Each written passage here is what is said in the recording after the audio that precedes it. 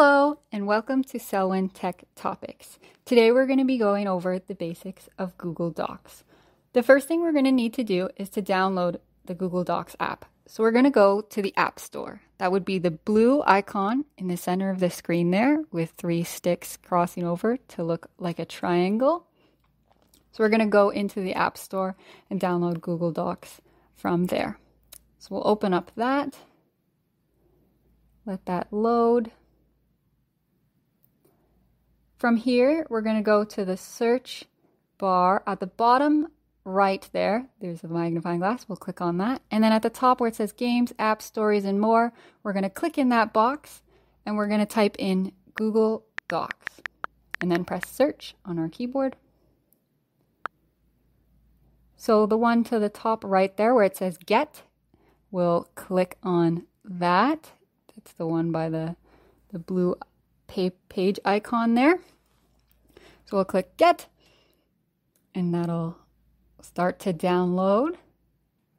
You may need to sign into your Google account if you're not already, otherwise, it will start downloading for you.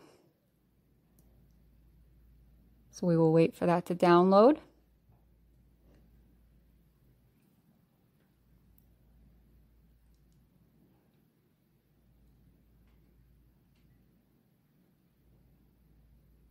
Okay, once it's downloaded, it'll say open. So we can click on open to open the Google Docs app.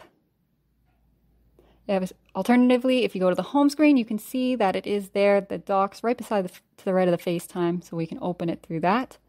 If we click on it, so when it first starts, it'll give you these intro pages. So saying we can create and edit documents, we can write things on the go. Um, we can share and edit together, so you can multiple people working on the document, and it will automatically save to the web, so we don't have to press on the save icon every time.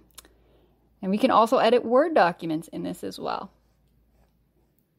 So now we can click on sign in on the bottom left there, and you'll need to sign in. Once you've signed in, it'll show up a page like this. We want to create a new one. That's the plus button in the bottom right, and then we're going to click the pen that says new document. So then we'll enter the title of our document here. So we can just title that, call that document one, and then I'll click on create. So now that we've opened our Google Docs, the first thing we want to do is we want to write our title. So we can start with the let's see here. We want our title to be more pronounced. So we'll put it in the center. That's clicking the center lines there, the beginning of the screen to center it. If we go to the left, then we can go to the center. We can also go to the right. So that's in the center there on the top bar. We click the center one. We also want our title to, let's see here, not there. We want to press the A with the under, that's underlined in the top right there. So that gives us more options for our text. We can click on font there. Right now it's set to Arial. Maybe we want to set our different font to uh, Calibri. We can go down. If you click like Times New Roman, we can select that. Um, so once we're done that, we can just click away, clicking anywhere in the open space. You can also change the font size there to 12 point. It's just right below the font there. Uh, and you have multiple options here. So we can go all the way up to 15, 16 point font we'll have for our title. That sounds good. And then we'll click the B to make it bold as well. So we'll start typing our title. We'll just call it title of document one. And then enter. Um, we'll press return, sorry, to go below. Now we want to turn this back to the left. So we'll click on that left adjustment. We can click on the capital B so it's no longer bold. And we want to change the size of the font again. So click on the A with the underline and under size, click the down arrow back to 12. Uh, we want to create a subtitle now. We'll underline it. So the U with the underline, we will click. And then we'll call it subtitle 1 so that that stands out and then we'll press return here to go to the next line. We'll click the U with the underline again to take off that underline. Um, so we can start typing our document now. Uh, we'll just type regularly. So to say this is my first sentence. Uh, it should autocorrect for you as you go there.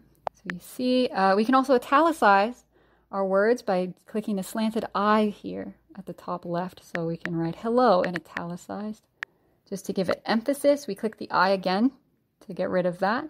Uh, we can press return again to take us to the next line. And what if we want to make our letters, oh, so sorry, we could also do a strike through here if you click the S with the line through it. So we could write hi with a strike through. Click it again to get rid of it. And what if we wanted to write our text with different colors? So let's click red. So we're clicking the A with a black line. We've changed it to red. We can write this sentence, or this is a red sentence. Okay. And now, what if we wanted a different color? Let's say yellow. Maybe we want to write a sentence in yellow. So we can write this. Oh, that's hard to see. Hmm. Maybe we can highlight the background of this so that you can see it better. So we're going to click on the highlighting pen right beside the text color.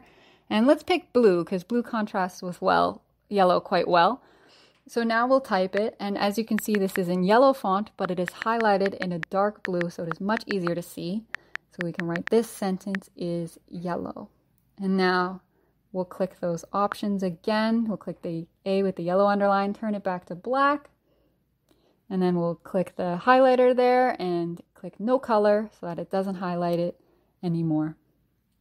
Now, if we want to write something on the right hand side, again, in the middle of the screen on top there, you would click the right hand facing and the right shifted text, sorry, and you can type in a sentence over on the right here. So this sentence is to the right. We can also make lists. So let's go back over to the left here just for ease of documents. We'll click back on the left shifted text at the top in the middle there.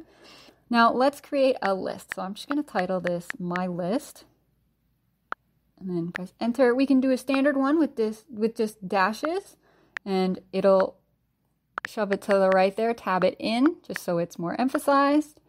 Um, so we can write item one, item two, and it does that automatically so you don't have to keep typing the dashes. Um, if you press enter again, that will clear that. And then we can press enter again and start a new thing. So let's start another list. And what if you don't want it to be dashes? We can use other things. So we can also use dots. If we click the lines with the three dots up on the top, kind of center to the right. So we start typing there. And again, when you press return or enter, it will continue the list. And if you press return again, it will stop that list before you start typing. So what if we want a checklist? So let's start writing our checklist. So my checklist now, instead of the dots with the lines beside them, right to the left of it, you'll see the check marks with the lines. We're going to click on that one, and we can start typing in our list. This would be great for a grocery list because you can actually physically check them off. So if we write a few items here, um, we can actually check off some items. So I can check some. We just get rid of the keyboard here. I can check off item five, item six. I can uncheck them if I need to, um, or I can leave them checked. So if you're writing a list and you've got some of them, you can check them off and scratch them and still leave them there so you can still see them, just like a regular checklist that you'd write on paper. Okay, and next, let's see here. What else do we have? We have lots of options there, as you can see. You can kind of fiddle around with them. Uh, next, we're going to insert. So we'll press the plus button there. And next, we'll insert an image. So you can choose one from your photos, or you can take a picture with the camera on your iPad. So if you do from photos, we're going to say OK to allow to insert an image. And it'll take you to your gallery. So let's click on one image here. This is the logo. And I'm going to click on it again and you can see that's inserted that image. So then we can click to the side and press return to go below it. Now we'll press the plus button and insert a table. So we'll click on table. That's columns and rows, so we can increase columns or rows. Let's do one with four rows and three columns. So then we'll click on insert table. So in the table here, I'm going to write my table. Okay, and then column one, column two,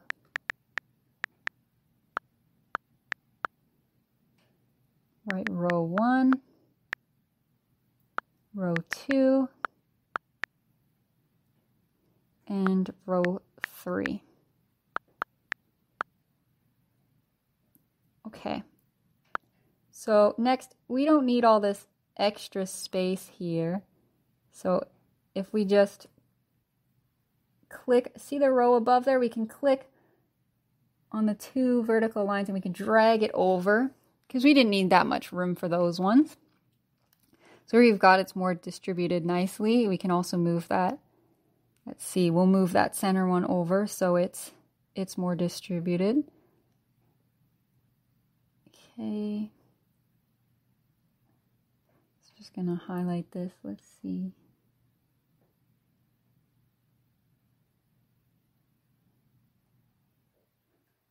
And sometimes it lets you um, distribute them automatically. Uh, we'll manually adjust it, that's fine. So I'm just going to pull that one in so it looks kind of close to more even there. That looks like a better column. Okay, and we can also merge two cells of the table together. So if we highlight that, we can double click and we double click there. Let's see.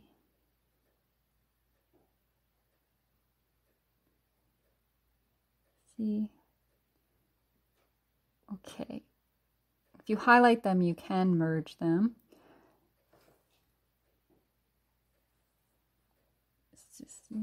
So yeah, uh, you there's our document. There's a bunch of general info just to get you started, and you can go from there. So if we want to go out, we can go back. It'll automatically save. So here we have it's automatically saved at the top there.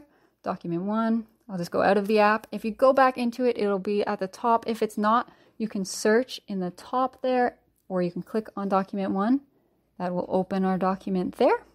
So we can see, there it is. And we can edit it again by pressing the pen on the bottom right and start typing, continuing any list that we were making or any more text. We can keep typing if we'd like. So we would just check, press the blue check mark in the left to show that we're done.